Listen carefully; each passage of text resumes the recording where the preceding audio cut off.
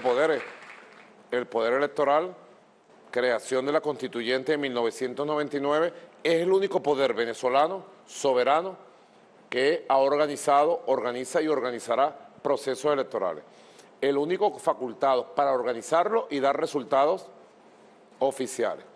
De hecho, fuimos convocados por el CNE en su momento a firmar un documento de reconocimiento de los resultados electorales, lo cual hicimos ocho de diez candidatos.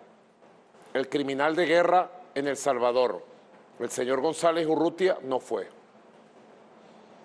No fue. Es un cobarde, no da la cara. Prepara sus crímenes escondidos. Lo hacía desde la Embajada de Venezuela en El Salvador. Utilizaba el pasaporte diplomático, la inmunidad diplomática para organizar crímenes en El Salvador. Me dice mucha gente que la gente cercana a este señor el mundo, González Urrutia, no sabían de sus crímenes. Entonces está metido en serios problemas, porque la gente más cercana a él se enteró de lo que fueron sus andanzas pasadas en El Salvador. Aquí tenemos el doctor Jorge Rodríguez, porque el doctor Jorge Rodríguez es uno de los expertos más grandes electorales que tiene Venezuela y ha encabezado un equipo de especialistas para revisar las mentiras del fascismo. Porque la mentira, como le gusta decir a Jorge, tiene patas cortas. Y sencillamente ellos asumieron la responsabilidad de sacar una página, de guindar ahí un conjunto de papeles, y creo que ha sido el peor error que han cometido en su golpe de Estado ciberfascista criminal en su engaño y en su mentira. Vamos a saber la verdad, doctor Jorge Rodríguez. Sí, presidente, gracias. Lo primero que hay que decir sobre este tema es que este grupo fascista jamás tuvo intenciones electorales, jamás este fue un plan electoral. Ni tenían un plan de gobierno, ni tenían argumentos para presentarle a los electores, ni siquiera se presentaban ante los electores. Fue utilizar como excusa el evento electoral para poder instalar el plan insurreccional. Desde las primeras oportunidades lo decían. Decían que ellos no iban a reconocer los resultados del Consejo Nacional Electoral.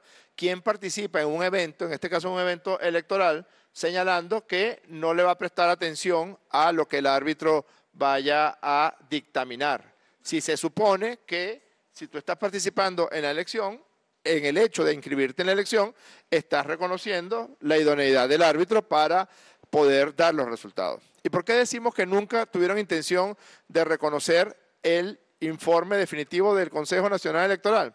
Porque este señor, no hay crimen perfecto, el señor Edmundo González Urrutia, en su cuenta de ex, publica que hay una página web llamada Resultados Presidenciales Venezuela 2024.com, que allí ellos iban a publicar los resultados, no en la página oficial del Consejo Nacional Electoral.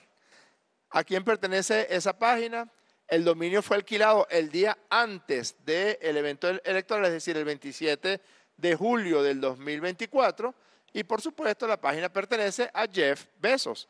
Es la página y los depositarios que están en Gran Bretaña de Amazon.com. Por cierto, el, el clúster de ese depositario es el mismo que guarda las transacciones de Netflix y de McDonald's. Porque pareciera... Está en buenas manos. Pues. Ah, es, lo que llamo el imperialismo tecnológico. Un término acuñado por Delsi hoy, en una reunión. Es el imperialismo tecnológico. Ellos han montado el Internet. ¿Ustedes sabían que el único país del mundo que produce Internet es Estados Unidos? ¿Ustedes lo sabían? Levanten la mano el que lo sabía. Nadie lo sabe. El único país del mundo que produce Internet y exporta para todo el mundo es Estados Unidos. Son los dueños de las máquinas que produce Internet. Todavía potencias como China, India y Rusia no producen Internet. Diría un amigo mío, Tuki. Aprendan pues, agarra ahí para que aprendáis. El único país. Y entonces montaron toda la estructura. Google, Amazon, todas las redes sociales sobre la autopista de Internet que es de ellos. WhatsApp. Entonces el imperialismo tecnológico domina el mundo a través de la gran herramienta tecnológica. hasta que las potencias mundiales descubran cómo producir Internet y nos liberemos. Eso va a pasar. Exacto. Fíjate que está claramente la fecha, para que se vea la, la veracidad de lo que estoy diciendo. El 27 de julio de 2024, el señor González Urrutia, o su gente, o sus fascistas, alquilaron ese depositario para colocar esa página donde iban a colocar todas sus mentiras. Otra vez la sociedad del espectáculo. La realidad, que es lo que el árbitro electoral dijo en, la proclamación del presidente Maduro, es sustituida por un poco de papeles sin ningún tipo de valor. Hay una persona que es mentalmente muy precaria, muy escasa, que se llama John Goicochea, que forma parte de toda la trama donde está Lester Toledo, Carlos Vecchio. Todos estos papeles que ellos forjaron ni siquiera fueron forjados, muchos de ellos, en Venezuela, sino que fueron forjados fuera de Venezuela.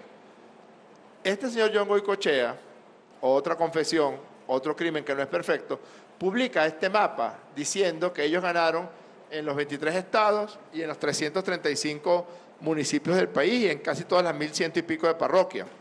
Pero si tú revisas las diferencias de votos entre, según ellos, entre González Urrutia y el presidente Maduro, el resultado siempre da 63% para González Urrutia y 30% para Nicolás Maduro, en todos los estados del país. Es decir, la gente votó igual en La Guaira que en Amazonas, igual en Táchira que en Sucre, igual en Cabima que en Los Teques. Esto no lo canso, pero todo da 63 a 30. Evidentemente, fue una, fueron una, unas bases de datos construidas con un programa bastante chimbo, por cierto. Hay otra cosa interesante y es el tema del registro electoral. En Venezuela fallecen diariamente, según las estadísticas, unas 600 personas por día. Hemos encontrado personas fallecidas que están en el registro electoral que ellos manejan. Por cierto, usted no aparece, presidente. Usted colo coloca en la cédula de identidad del presidente de la República y no aparece como si no hubiera, usted no hubiera votado, no aparece su mesa. La mesa donde usted votó no existe. ¿Será que yo desisto y no me he dado cuenta? Bueno, o somos un holograma, somos un holograma. no aparece, usted ponga su cédula y usted sale que no, no existe esa mesa. Imagínate tú que el secretario de Estado de los Estados Unidos de América avala eso, donde en esa base de datos que ellos tienen no aparece la mesa donde vota el presidente de la República Bolivariana de Venezuela. Pero si hemos encontrado personas fallecidas en ese registro supuestamente electoral desde el año 2010 y mueren más o menos en Venezuela cada año 600 mil personas, ellos inflaron el registro electoral en casi 4 millones de personas. Es decir, están trabajando con un registro electoral de 25 millones de personas. El registro electoral en Venezuela... No, guara, eso no me lo habías dicho también. Él solo lo descubrió hoy. Lo descubriste hoy. sí, o sea, me puse a buscar y me puse a buscar las estadísticas de nuevos nacidos y fallecidos por año en Venezuela y resulta que ellos no han sacado absolutamente un solo fallecido del registro electoral desde el año 2010 para acá. Es decir, que estamos trabajando con un registro de más o menos 25 millones de personas. En Venezuela el registro electoral es de 21 millones 400 mil. Ya esa diferencia de casi 4 millones de personas dice que qué clase de vicios hay allí, donde 4 millones o 3 millones 800 mil fallecidos están dentro de ese registro electoral. Luego las barbaridades que dijeron con las, con las actas, que dijeron que tenían el 63%, después este señor González Urrutia, por el déficit cognitivo que tiene, desmiente a, a, María Corina Machado y dice que son el 30%, que no llegan al 40%. Lo cierto es que... Eso lo tenemos. Vamos a ver ese video Perfecto. para que vean las contradicciones de la mentira, del fraude. Adelante, video. Que esperen a que se cuenten los votos, que esperen a que podamos tener todas las actas de lo que ocurrió. Apenas hemos obtenido un 30% de las actas. Adicionalmente, en este momento tenemos más del 40% de las actas. Debo decir algo, el 100% de las actas que transmitió el Consejo Nacional Electoral las tenemos. No sé dónde salieron las otras. Han sido entregadas la mayoría de las actas. O sea, a la misma hora dijeron Omar Barbosa, 20, 30. La demonia, 40. Y el demonio asesino de, del Salvador, que varias, muchas. Claro, pues sabe que eso tiene consecuencias legales ante los tribunales. Mentir. ¿Qué te parece? En ese momento que estaban diciendo esa sarta de mentiras, primero porque cualquier psicólogo profesor puede ver cómo empiezan a mover los ojos hacia los lados cuando están diciendo el número, el número de actas, o están mintiendo descaradamente. En ese momento tenían cero, no los voy a llamar actas, cero de esos papeles en poder de ellos, porque esos papeles fueron construidos en el exterior y fueron enviados. Te estoy mandando tantas. Y lo cierto es que lo que ellos registraron en primera instancia hasta hace unos pocos días fueron 9.468 supuestas actas de 30.026 actas. 9.000 papeles. 9.000 papeles y luego vamos a ver las barbaridades que, que, que, hicieron con esos papeles. ¿Cómo es posible que no aparezca en su base de datos chimba, no aparezca el acta de la mesa donde vota el presidente de la República? Donde vota la primera combatiente tampoco aparece. ¿Usted Silvia tampoco. Silvia tampoco. Silvia también es virtual según, según. No pudiste votar por mí entonces. No, no, presidente, es que es una cosa que uno dice, pero ¿cómo, cómo un país, como no sea, que ellos son los coautores de ese, de ese, de ese tremendo fiasco? Como los Estados Unidos de América señala que este es el, resultado que ellos reconocen. Mire, no quiero cansarlos demasiado, pero fíjese, un elemento fundamental, y esto es importantísimo que se sepa, que las actas se firman en la máquina de votación. Las actas no se firman en el papel. Las actas se firman sobre la pantalla de la máquina de votación. Y un elemento fundamental es que cuando va a imprimirse el acta, antes debe firmar el operador de la máquina. Pues aquí en esta acta, que por cierto tiene puras firmas planas, en esta acta no aparece la firma del operador de la máquina. No aparece la firma del operador de la máquina. No aparece la firma del operador de la máquina. Y como estas, miles de cientos y cientos de los que ellos presentaron. Muchos de los ejemplos que tenemos aquí sin datos operador de la máquina. Otro elemento fundamental. El Gran Pueblo Patriótico tenía tres testigos con su suplente por cada mesa de votación. Teníamos el registro de todos nuestros testigos. ¿Cómo es que en ninguna de esas actas aparecen los testigos del Gran Pueblo Patriótico, sino supuestos testigos solamente de la tolda política? Hay miles de actas sin datos de testigos.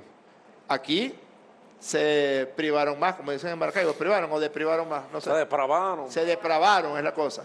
Aquí no hay ningún testigo, cero testigos. Sin datos de testigos, sin datos de testigos, sin datos de testigos.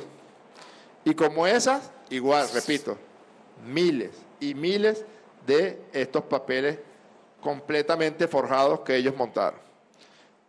Hay otra cosa curiosísima. Ustedes saben que cuando empieza un acto de votación en Venezuela, se imprime lo que se llama el acta cero, que es antes de empezar a votar, se imprime un acta y todos los miembros de la mesa ven que la persona, que el acta da cero votos para cada uno de los candidatos. Pues el acta cero, un, acta cero la incorporaron, es decir, en esa acta, y la, incorporaron como acta de escrutinio. En esa acta Maduro saca cero votos, González Urrutia saca cero votos, los 10 candidatos sacan cero votos, como en el, como en el libro, ¿cómo se llama? El elogio, el ensayo sobre la ceguera de Saramago, donde la gente va a una elección y vota por nadie. Bueno, en esa acta supuestamente nadie votó por nadie, porque tienen cero votos todos ellos. Luego está el tema de, hay actas que no tienen ni una firma, ni siquiera de los miembros de la mesa. Hay muchas actas donde no aparece ni siquiera el nombre de los miembros de la mesa. Aquí está el ejemplo que le dije, el acta de inicio en cero, miren. Eh, Maduro, cero votos. Luis Martínez, cero votos. Bertucci, cero votos. Brito, cero votos. Ecarri, cero votos. Mundo González, cero votos. Es decir, elogio sobre la ceguera de José Saramago. Firmas planas. O sea, es un carnaval de mentiras, no, no, irregularidades. Y ellos dieron la cara porque ellos apostaron a esa página. Y sobre esa página se ha, montado la mentira del gobierno de Estados Unidos, de CNN, de la agencia F, agencia P, porque la agencia P en la noche del viernes, once y media de la noche, sacó AP, periodistas de la agencia AP han revisado las actas de la oposición y han llegado a la conclusión de que hay graves irregularidades en el proceso electoral venezolano. Joshua Goodman firmó. Joshua Goodman, o sea, ellos son el CNE en Venezuela. Sí.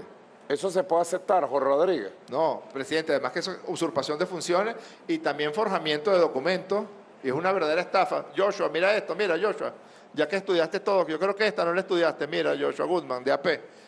Todas las firmas son iguales.